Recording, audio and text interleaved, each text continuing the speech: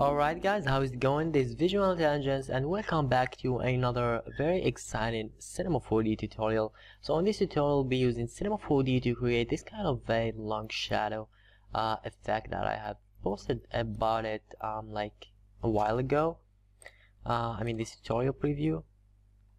And a lot, uh, I mean not a lot, but uh, some of you guys really liked it and uh, I wanted to show kind of how I uh, did this since uh, it's really something I never seen uh, anyone doing on Cinema 4D so let's go ahead and uh, get started. So the first thing you want to do is you want to go to file new and create a new document. Uh, obviously we want some text so let's go ahead and go to MoGraph and then add a MoText object. You can go ahead and change the text to something really uh, it doesn't matter what, what for me but you can add your own text. So for the sake of demonstration that I changed it. You can go ahead and change the font. I'm going to be using um, Rockwell why not? And uh, I'm gonna be aligning that in the middle. So that's looking pretty good already Alright, so I guess that's uh, it for uh, the text. What we want to do now is we want to go to the depth and decrease that quite a bit.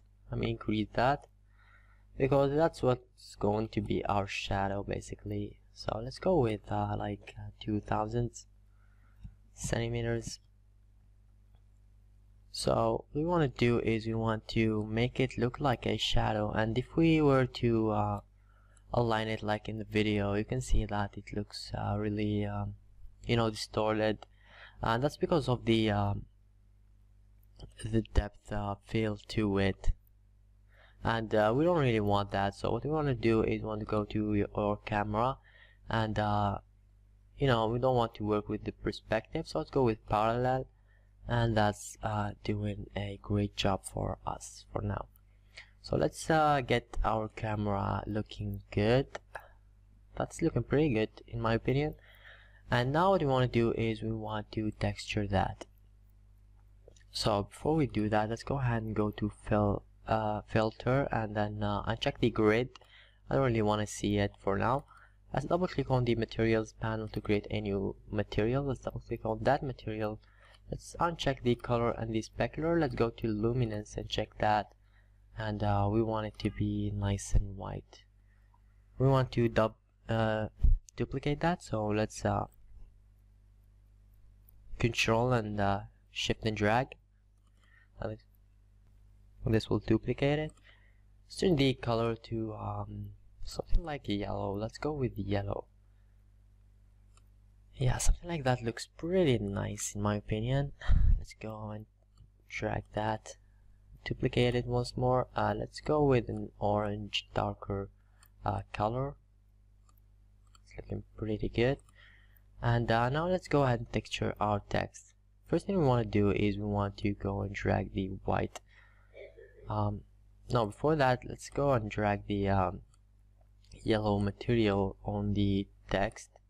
Actually that's our shadow so let's uh, remove that and uh, texture it with the um, darker uh, material. And let's go ahead and add some uh, some background.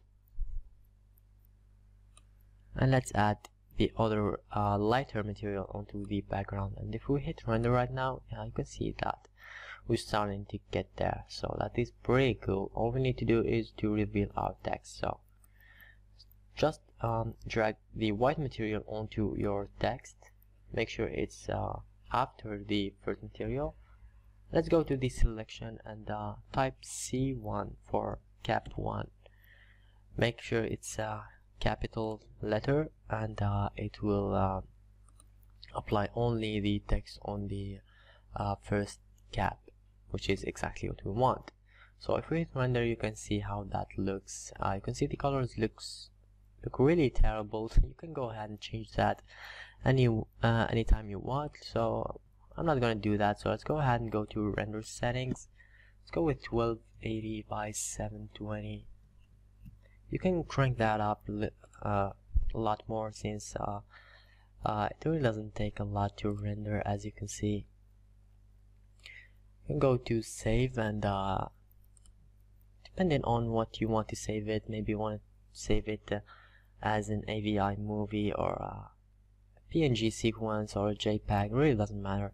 But um, I would go with a PNG sequence and then uh, composite it in uh, in After Effects or something. If you want to do an animation and also make sure to uh, change the frame to all frames. But I'm just going to gonna be outputting a one frame so I'm not gonna do that.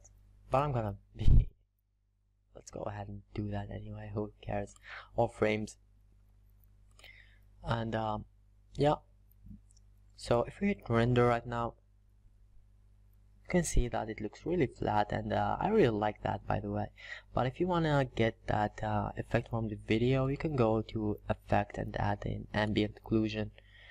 And if you hit render right now you can see it takes a little more time to render but it uh, it does uh, give a slightly uh, better result or different result. It doesn't have to be uh, better than the other one so yeah.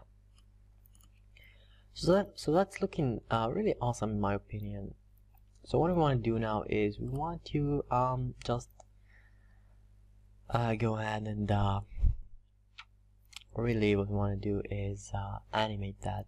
So really cool way to, to do that is to go to MoGraph actually let's go to your uh, MoText go to layers and uh, it will show this uh, effects tab.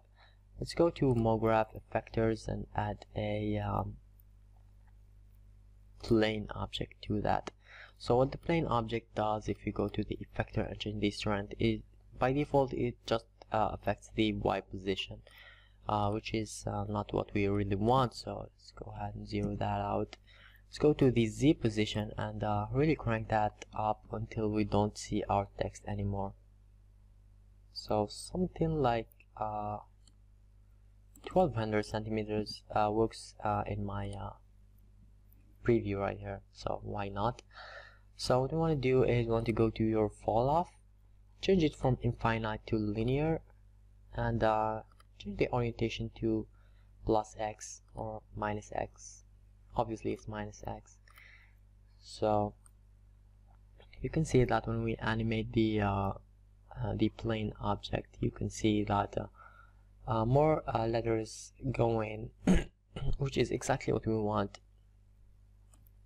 You want to do though is you want to go to your uh,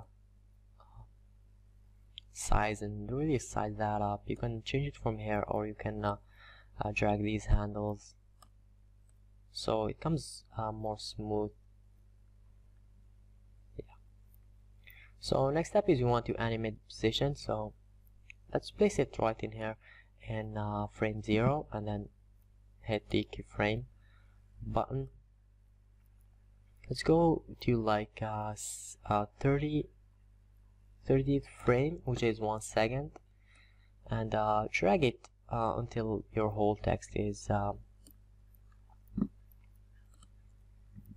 is actually showing. And then uh, hit another keyframe. And if we uh, hit play right now you can see it looks a lot uh, what we want but it, you can see that it looks really uh, solid really plain. There is nothing uh, really that catchy in that. So what I do though is you want to go to your uh, MoText make sure you're on letters tab and then go to MoGraph effector and add a uh, delay effector and by uh, default the delay effector comes as um, blend mode. So if we if we uh, if we hit play right now you can see that the animation looks a lot better already. You can see it like uh, it's like more smooth. You can really increase the strength and see by yourself how that looks.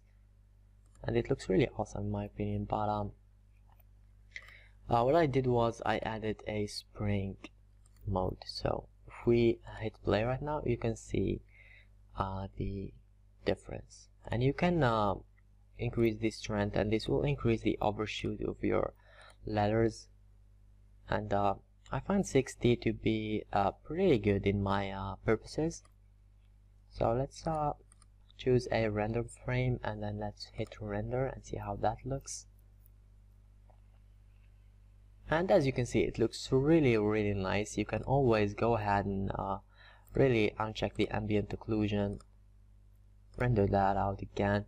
If you want this look which is uh, really uh, I guess what's mo what most people find really cool and uh, yeah that is uh, looking uh, pretty good in my opinion. Let's go back and re-add the ambient occlusions. It's, it's my opinion that I really like it and uh, yeah that's pretty much it for this tutorial. As always you can always go back to your text go to object. You can change the text to whatever you want. Make sure if it's um if it's tall make sure to adjust the camera and stuff. And uh yeah that is looking pretty good. You can even add a camera and add some animation to that and uh, stuff. Really but I'm not gonna do that uh, since um, it's really a short tutorial but uh, yeah. So that's pretty much it. Uh, thank you guys a lot for uh, watching. Um, hope this is uh, useful enough uh, for you guys. Hope you find something uh, useful in this tutorial. Make sure to leave a like comment and subscribe or and check other of our videos. So again this is visual intelligence and see you guys next week